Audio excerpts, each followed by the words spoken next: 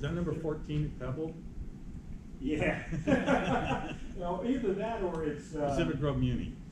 I, I- it, it, it- I, David gave me this slide and I always loved it, but It's a great picture. Monterey, uh, Country Club. Oh, very Uh, nice. Dunes Course. Oh, very nice. See, water can be used for a lot of things. Yeah. All right, uh, The last question. Yeah.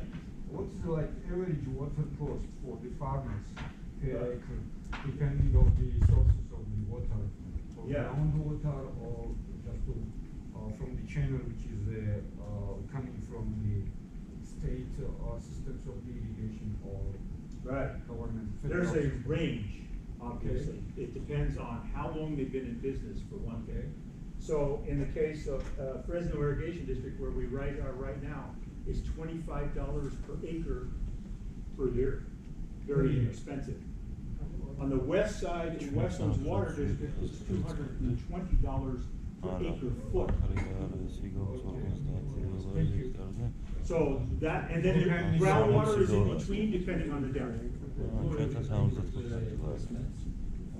Whatever it is, whatever they wanna go. Doesn't. The water cost is the water cost, which has driven us to more sand and better.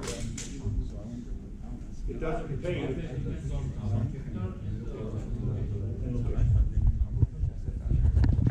thank you, that's pretty we, uh, we have to go to another meeting, so thank you very much.